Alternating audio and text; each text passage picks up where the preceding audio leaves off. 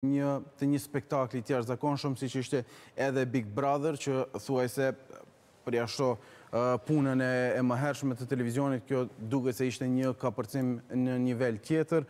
Cilat kanë qenë sfidat Adriatik për me menaxhu qoftë me këtë projekt, por qoftë edhe televizionin në raport me një konkurrencë që. Sidomos ne që dalim kështu në ekran, si puna ime, jotja e plot kolegëve të tjerë, pra mendojnë se puna jonë është vetëm ta kryejmë këtë gjysmë ore, një orë të paraqitjes para ekranit. Kur je drejtor i përgjithshëm, kjo i bie pjesa më e vogël e punës që bën.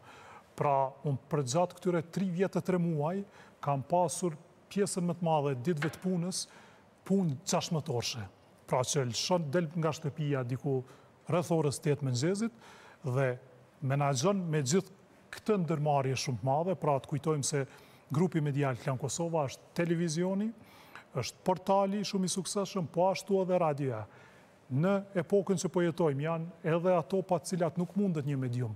Pra janë rrjetet sociale, është kanali në YouTube dhe të gjitha këto të dëshmojnë sukses dhe në fund të ditës, pra të kalosh ndoshta, shpesh e kam zënë veten duke i kaluar shtatë tetë orë duke folur me të gjithë ju, duke biseduar për halle, për projekte, për plane dhe në fund po ashtu të hyj edhe në emision drejtpërdrejt me shumë peshë dhe përgjegjësi para publikut dhe të mbetem deri në orën njëmbëdhjetë ose dymbëdhjetë natës.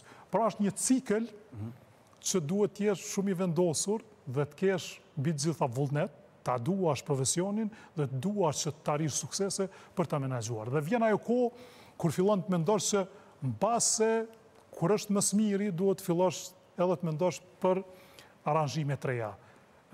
Kam gjetur mirëkuptimin natyrisht të menaxhmentit të korporatës dhe më kanë bërë ftesë që mirë, duam që të jesh pjesë e ekipit tonë gjithsesi,